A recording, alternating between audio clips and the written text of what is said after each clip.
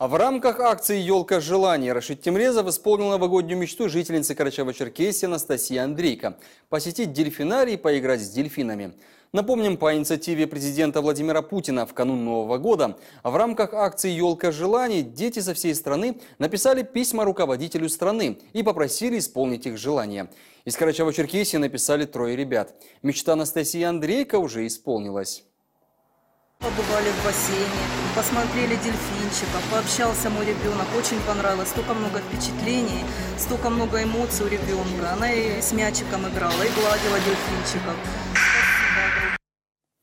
Осталось еще двое ребят. Эдуард Габжоков из Черкеска вместе с мамой уже 13 марта поедет на рок-фестиваль, о котором он мечтал.